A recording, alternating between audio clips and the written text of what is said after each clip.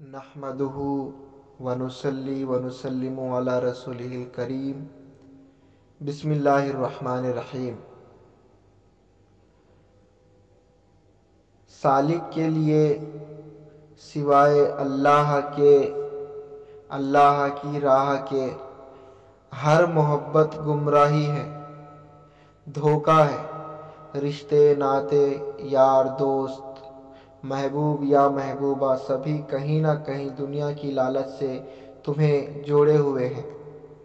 खुद का फ़ायदा कहीं ना कहीं इन रिश्तों में जुड़ा हुआ है और जुड़ा हुआ होता है। आजकल लैला भी अपने मजनू को दिल नहीं दे रही जब तक उसका बैंक बैलेंस अच्छा ना हो। इसीलिए एक हदीस मुबारक भी तो है कि तुम्हारे माँ बाप आल, औलाद और माल और दौलत सब कुछ फितना है तुम्हारे लिए। दुनिया की मोहब्बतें एक हसीन धोखे के अलावा कुछ नहीं।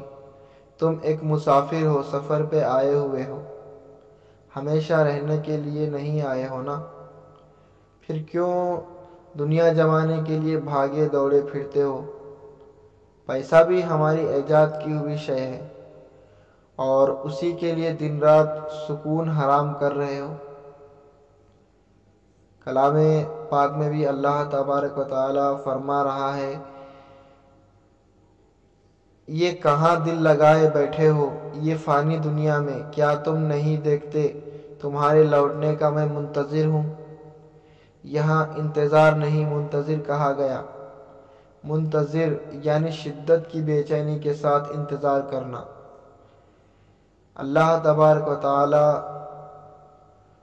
उसकी तरफ़ लौटने के लिए कमो बेश एक लाख चौबीस हज़ार पैगम्बरों को, नबियों को, रसूलों को भेज भेज कर इसलाह और तरबियत कराया।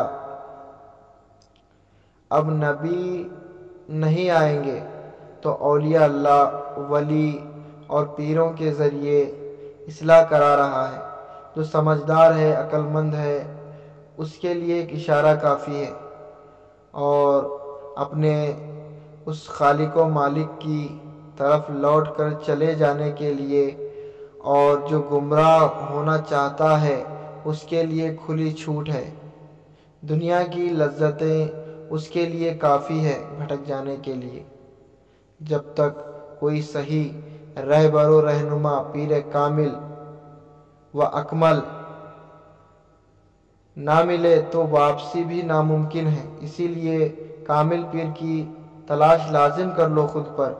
इसीलिए कुरान पाक में भी फरमाया गया, अर्रहमान फ़सल भी खबीरन। रहमान का पता किसी बाखबर से पूछो, जो उसे जानता हो, पहचानता हो। बेखबर गुमराह कर सकता है और हकीकत तक नहीं पहुँचा सकता। इसलिए बाखबर कहा गया है